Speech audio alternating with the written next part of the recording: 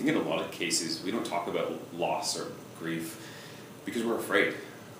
Uh, many of the conversations that I've had over the years has has led exactly to that or stemmed from that.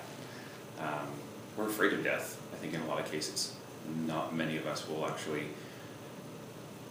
even go to any length to understand our mortality and the fact that we only have a, a very short period of time on this planet and we choose to distract ourselves uh, in a lot of cases.